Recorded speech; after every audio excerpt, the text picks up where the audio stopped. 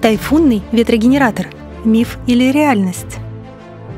Тайфуны – одни из самых разрушительных природных явлений, скорость ветра при которых может быть более 90 метров в секунду. Японский инженер Ацуси Симидзу задался целью обуздать мощь этих катастрофических штормов и превратить ее в полезную энергию.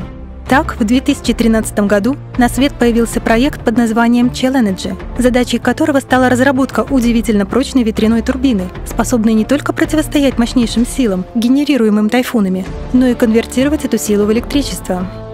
Устройство представляет собой 7-метровую конструкцию с тремя цилиндрами, соединенными между собой и закрепленными вокруг прочной оси.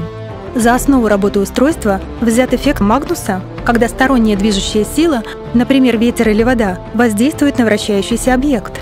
Турбина крутится в зависимости от направления ветра как по часовой стрелке, так и против нее. Тайфунная турбина имеет ряд особенностей, что отличает ее от обычной ветряной турбины. Во-первых, в ней используется вертикальная всенаправленная ось, что позволяет конструкции выдерживать различные направления ветра и делает генератор устойчивым к ураганному ветру скоростью до 80 метров в секунду.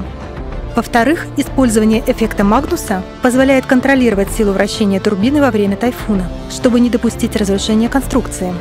По подсчетам Национального управления океанических и атмосферных исследований NOAA, Кинетическая энергия, которую вырабатывает один сформировавшийся тайфун, составляет примерно половину всей мировой выработки электричества. На испытаниях в 2015 году тайфунная турбина показала эффективность в 30%, в то время как обычная ветряная турбина имеет эффективность в 40%. Разработчик утверждает, что ветряные турбины, вырабатывающие огромное количество энергии из тайфунов, помогут решить энергетический кризис не только в Японии, но и в других странах мира.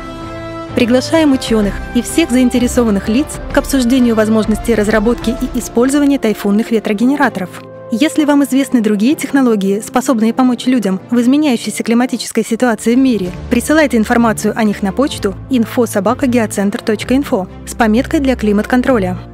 Подробнее о климатических событиях в мире и решении климатических глобальных проблем читайте на сайтах geocenter.info, allatravesti.com и allatradefisscience.org, а также в докладе ученых АЛЛАТРА Science о проблемах и последствиях глобального изменения климата на Земле, эффективные пути решения данных проблем.